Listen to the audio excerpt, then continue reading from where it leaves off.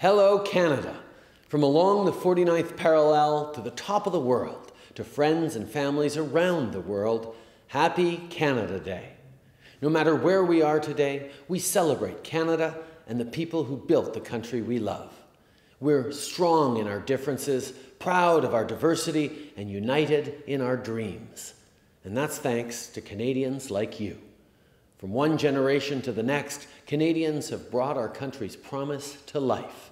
They've built strong communities and grown the middle class at the heart of our success. And today, Canada's workers are the backbone of our country. They build the roads that get us to work on time and back home again. And they put food on the table for families across the country and beyond.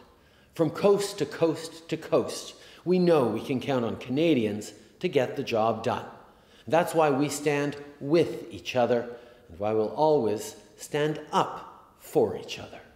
Because Canada's success has always come from its people, lifting each other up one community at a time. So today, let's celebrate everything we've accomplished and do what Canadians do best look to the future and roll up our sleeves. Because together, I know we'll keep building a country that makes us all proud. From our family to yours, Happy Canada Day.